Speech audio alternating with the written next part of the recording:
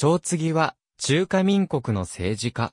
中国同盟会以来の革命派人士で、中国国民党でも、要職を務めた。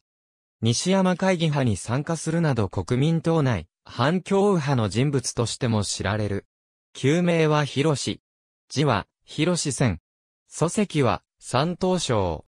長子は1929年6月から1947年12月まで、婦人大学の初代理事長を務めました。地主の家庭に生まれる。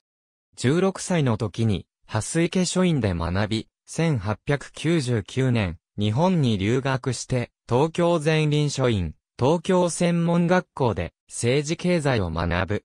ルソーの思想の影響を受け、阪神活動に参加し、1902年に孫文と知り合っている。翌年、弁髪を切り落としたことを、清朝の留学生監督官に咎められ、帰国を強制された。帰国後、上海で、小平林らと雑誌、粗法を創刊したが、間もなく発禁処分に遭い、国民美日報を改めて創刊した。1904年、湖南省に赴いて、高校の活動に加わったが、交換襲撃事件の容疑者として清朝に一時、交流されてしまう。釈放後、日本に再び赴き、留学生会総幹事となった。翌年、超次は中国同盟会に加入して、同盟会本部司法部判事となる。さらに機関法、民法の編集人権発行人となり、両慶長ら立憲派との論争を行った。1908年、フランスに向かい、リーシソラと雑誌、新世紀を創刊した。この頃の長次は、無政府主義に傾倒している。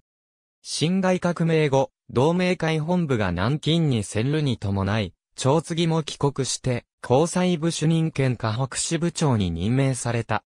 1913年、国民党として国会議員に当選し、参議院議長に選出される。同年の二次革命失敗後は、主に欧米で活動し、1920年以降、孫文の下で、中国国民党組織のために奔走する。当初、超次は、孫文の唱える連ねソ連ともに賛成であった。しかし超次が実際にソ連との交渉を担当すると、ソ連側が国民党への兵器供与等に消極的であったことなどから、不信感を抱くようになる。1924年1月、中国国民党第1回全国代表大会が開催され、長次は第1期中央観察委員に選出された。しかし、この頃から早くも、長次は孫文の三大政策に反対する姿勢を公開している。同年8月、孫文に共産党との決別を迫ったが、かえって検責を受けてしまい、長次は上海に引きこもることになった。孫文死後の1925年11月、社持ち、スーロラの西山会議派に参加し、引き続き反共姿勢を取り続ける。翌年3月には、西山会議派による国民党第2回全国代表大会に参加し、中央執行委員に選出された。長次別影1927年の南京、武漢、上海合流後、長次は、蒋介石を支持して、国民政府で経歴を重ねていく。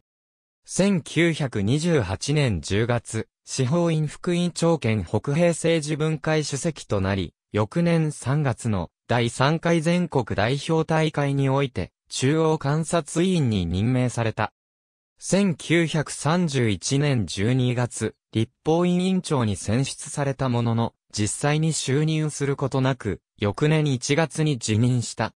同年、西京光備委員会委員長となり、1933年には、国民党河北弁事所主任を務めた。1937年2月、国民党5期三中全会において、総経令、何工業、兵玉省らと、連ねどもの三大政策復活提案に一時は賛成しようとしたが、直前になって撤回、離脱した。日中戦争終結後の1946年春に開かれた国民党6期に中全会では政治協商会議の内戦回避を求める提案等に反発し、長次は強固に反共の主張を続けて、これを国民党に受け入れさせなかった。長次らのこの政治行動は、国境内戦勃発の主要原因の一つともなっている。1947年、国士官官長となっている。同年12月15日、死去。去年66。ありがとうございます。